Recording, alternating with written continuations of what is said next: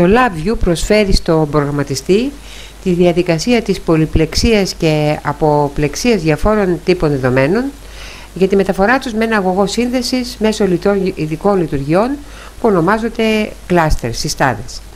Μία συστάδα έχει τη δυνατότητα να αματοποιεί δεδομένα διαφορετικών τύπων σε ένα μόνο αντικείμενο. Για παράδειγμα, συμβολοσυρές, αριθμητικά δεδομένα, πίνακες, λογικά δεδομένα και άλλα. Για να διαχωριστούν τα δεδομένα τα οποία έχουν ομαδοποιηθεί, ε, χρησιμοποιείται η, η αντίστροφη λειτουργία της ομαδοποίησης συστάδας. Για να δημιουργήσουμε τώρα μία συστάδα θερματικών στοιχείων, ε, πηγαίνουμε στο front panel και από την ε, παλέτα Array Matrix and Cluster επιλέγουμε τη λειτουργία Cluster. Ε, θα εισάγουμε τώρα στη συστάδα τα στοιχεία control τα οποία θέλουμε να ομαδοποιήσουμε. Αρκεί να τα σύρουμε μέσα στη συστάδα.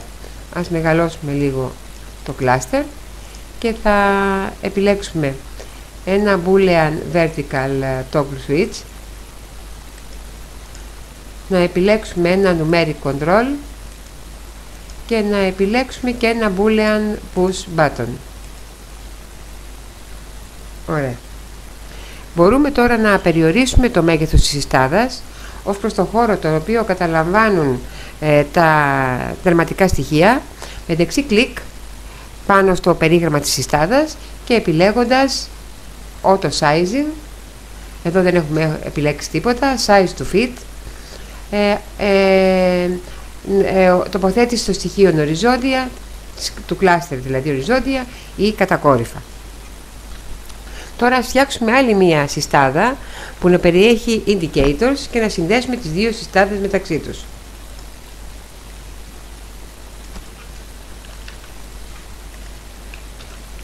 Φτιάχνουμε την άλλη συστάδα. Εδώ αντί για boolean θα το βγάλουμε αυτό. Θα βάλουμε από το boolean ένα ε, square LED για να απεικονιστούν τα αποτελέσματα η πρώτη συστάδα είναι αυτή η δεύτερη συστάδα είναι αυτή αλλά πρέπει να την κάνουμε change to indicator προκειμένου να τη συνδέσουμε αν τρέξουμε αυτό το VI που έχουμε δημιουργήσει βλέπουμε τα αποτελέσματα της σύνδεσης μεταξύ των δύο συστάδων μεταξύ τους.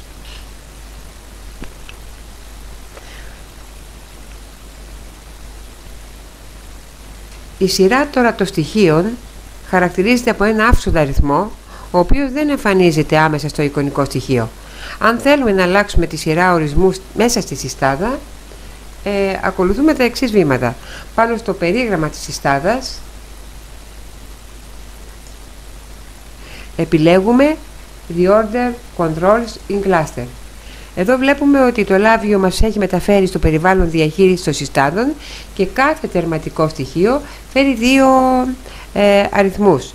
Με το μαύρο φόντο εδώ που βλέπουμε είναι ο αριθμός ορισμού της νέας σειράς που θέλουμε να έχει το τερματικό στοιχείο ενώ ο αριθμός με το λευκό φόντο ε, είναι η σειρά στην οποία έχει το τερματικό στοιχείο στη συστάδα. Αν θέλουμε αλλάζουμε εδώ τη σειρά των στοιχείων και αρκεί να τσεκάρουμε εδώ για να βγούμε από αυτήν την ε, ε, αλλαγή σειράς κατάταξης. Η σειρά της κατάταξης που επιθυμούμε να αλλάξουμε δεν τροποποιεί τα εικονίδια το στοιχείο στη συστάδα, αλλά τροποποιεί μόνο τη σειρά σαν αριθμό δεδομένου επιλογής του τερματικού στοιχείου.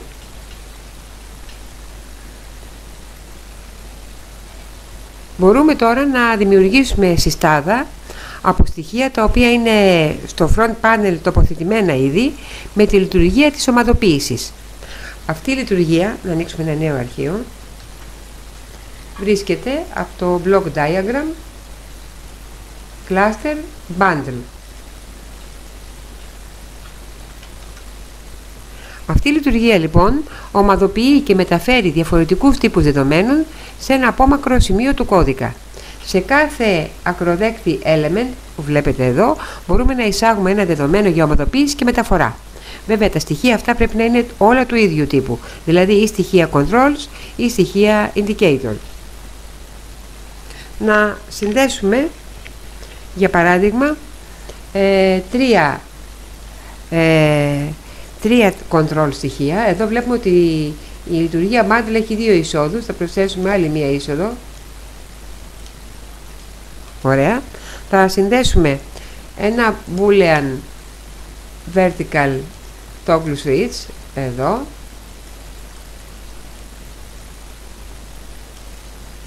Να συνδέσουμε ένα numeric control.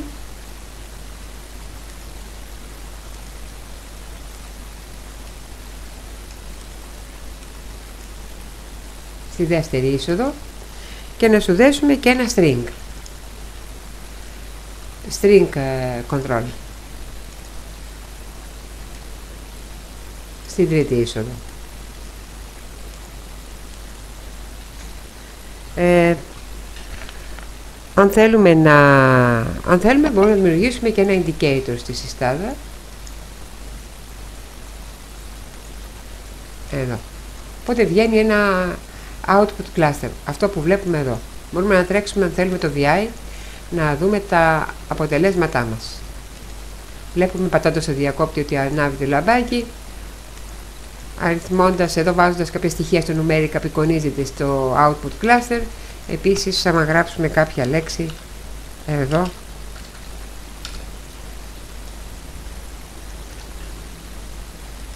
Εδώ αν το δούμε θα δούμε τη λέξη που έχουμε γράψει ε, στο VI μας. Και το high all που βλέπουμε είναι αυτό που έχουμε γράψει προηγουμένως αν θέλουμε τώρα να, να κάνουμε το αντίθετο χρησιμοποιούμε τη λειτουργία unbundle αυτή η λειτουργία διαχωρίζει τα στοιχεία από μία συστάδα η σειρά με την οποία τοποθετούνται στην έξοδο τα στοιχεία είναι η ίδια σειρά με την οποία τοποθετήθηκαν στη συστάδα. Δηλαδή το στοιχείο 0 στη συστάδα θα είναι στην κορυφή της εξόδου της λειτουργίας ε, unbundle. Άμα θέλουμε λοιπόν εδώ να βγάλουμε το output cluster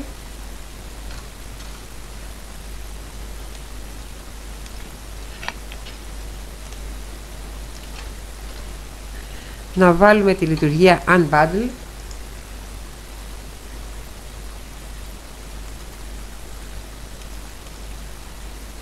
Να συνδέσουμε μεταξύ τους. Βλέπουμε ότι έβγαλε τρεις εξόδους. Ας βάλουμε από ε, να κάνουμε create ένα indicator για κάθε έξοδο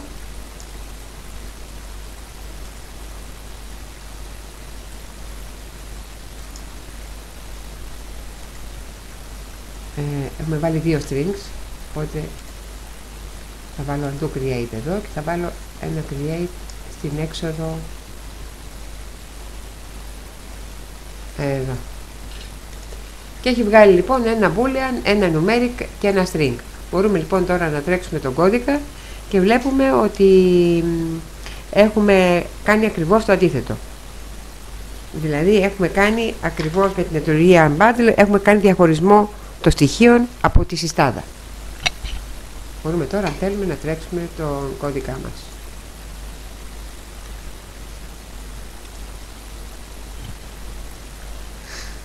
Ε, συνεχίζοντας, ε, μπορούμε να, να εξηγήσουμε πώς ε, ε μπορούμε να εξηγήσουμε πώς ε, μερικές, συγχωρείτε, μερικές ειδικές λειτουργίες συστάδων. Να ανοίξουμε ένα νέο αρχείο. Πάμε λοιπόν στο προμικό διάγραμμα, στο cluster class invariant, να δούμε την λειτουργία array του cluster. Αυτή είναι εδώ. Ας την επιλέξουμε ας βάλουμε και το kelp ε, αυτή η λειτουργία μετατρέπει ένα πίνακα ε, 1D δηλαδή μιας διάστασης σε μια συστάδα στοιχείων του ιδίου τύπου με τα στοιχεία του πίνακα ε, επιλέγουμε, εδώ αν κάνουμε δεξί κλικ επιλέγουμε το cluster size ε, από, το, από το μενού που θα προκύψει εδώ έχει προκύψει ένα μενού το default είναι 9 και θέτουμε τον αριθμό στοιχείων στη συστάδα ε, το μέγιστο μέγεθος που για τη λειτουργία αυτή είναι 256 ε, να δούμε ένα παράδειγμα.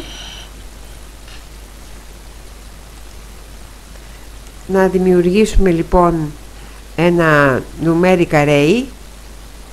Μάλλον το έχω φτιάξει έτοιμο το παράδειγμα αυτό. Να το δω αν υπάρχει.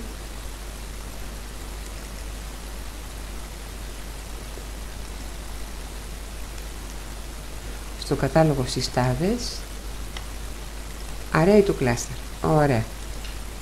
Έχω δημιουργήσει λοιπόν ένα πίνακα 9 στοιχείων, θα βάλω και κάποια στοιχεία δεδομένα μέσα.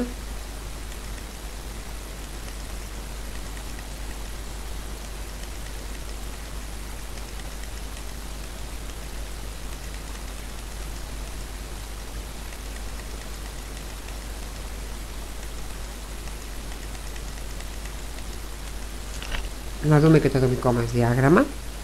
Και με τη λειτουργία λοιπόν array του cluster που βλέπετε εδώ ορίζοντας τον αριθμό των στοιχείων που θα εμφανίζονται στη συστάδα εδώ έχουμε επιλέξει cluster size 6 θα δούμε όταν τρέξουμε το παράδειγμά μας ότι μόνο τα 6 πρώτα στοιχεία εμφανίζονται στην συστάδα ε, τώρα η λειτουργία cluster του array κάνει ακριβώς το αντίστροφο, δηλαδή μετατρέπει μία συστάδα ομοίων στοιχείων σε ένα πίνακα 1D στοιχείων του ιδίου τύπου.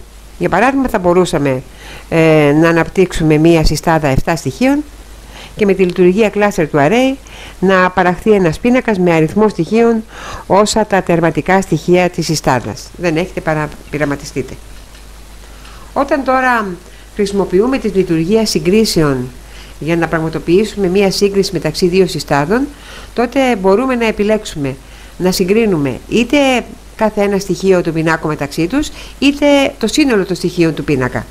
Αυτό το κάνουμε και την πρώτη περίπτωση με την ε, επιλογή Compare Elements και τη δεύτερη περίπτωση με την επιλογή της Compare Aggregates. Να δούμε λοιπόν το αντίστοιχο πρόγραμμα που έχουμε δημιουργήσει εδώ είναι το δομικό διάγραμμα. Εδώ βλέπουμε λοιπόν ότι έχουμε πάρει κάποια στοιχεία controls. Έχουμε βάλει ε, την, ε, δύο λειτουργίες bundle δηλαδή ε, λειτουργίες ομαδοποίησης. Και εδώ έχουμε πάλι ένα τελεστή ε, σύγκρισης ε, για να συγκρίνουμε κάθε ένα στοιχείο των πινάκων μεταξύ τους. Έχουμε χρησιμοποιήσει την επιλογή Comparison Mode, Compare Elements. Αν τρέξουμε αυτό το μάλλον πριν το τρέξουμε ας βάλουμε σαν νουμέρικα εδώ ένα κάποια στοιχεία δηλαδή και εδώ να βάλουμε κάποιο περιεχόμενο στα strings και ας ανοίξουμε μάλλον θα το τρέξουμε και θα ανοίξουμε μετά τους διακόπτες βλέπουμε ότι όλα τα, τα στοιχεία των δύο πινάκων είναι ένα προς ένα μεταξύ τους ε, ίδια. Αν διαφοροποιήσουμε βλέπουμε ότι εδώ θα σβήσει το λαμπάκι της μεταβλητής. Ε, το αντίστοιχο γίνεται λοιπόν με την ε, δημιουργία, ε, μάλλον με την ε, η σύγκριση του συνόλου γίνεται με την compare aggregates. Να το δούμε αυτό.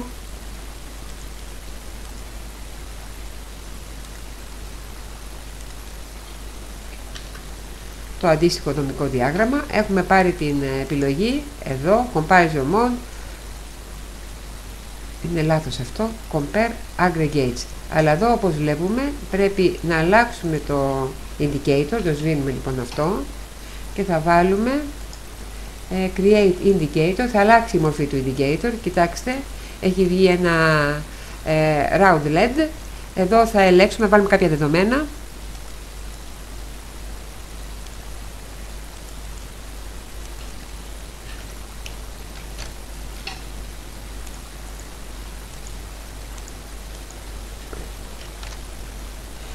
και συγκρίνει τώρα το σύνολο.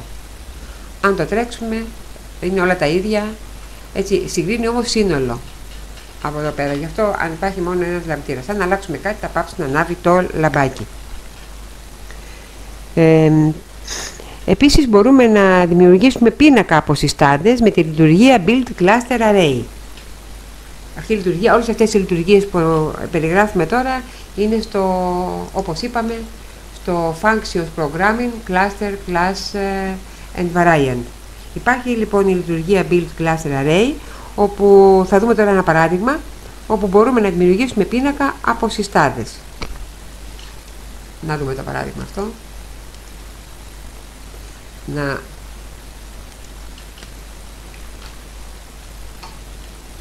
εδώ και το δομικό διάγραμμα εδώ λοιπόν χρησιμοποιούμε τη λειτουργία Build Cluster Array για να δημιουργήσουμε πίνακα συστάδων από δύο ίδιες συστάδες, numeric cluster, cluster μάλλον και cluster 2.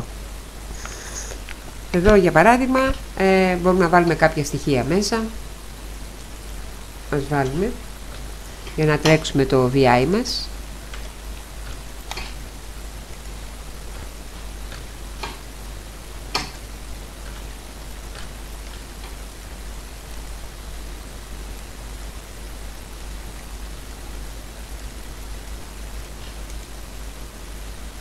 Ωραία.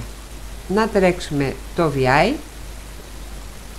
και εδώ βλέπουμε ανάλογα με την αριθμοδότηση που θα επιλέξουμε αν επιλέξουμε το 0 με συγχωρείτε το 0 θα προκύψουν το πρώτο κλάστερ, τα δεδομένα του πρώτου κλάστερ ενώ αν επιλέξουμε το 1 τα δεδομένα του δεύτερου κλάστερ.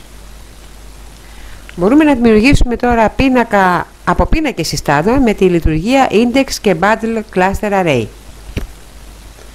Να το δούμε αυτό.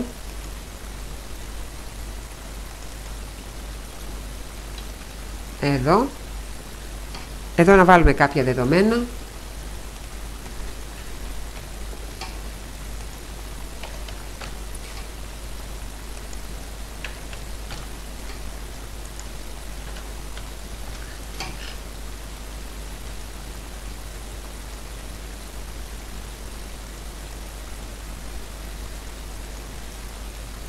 Και εδώ.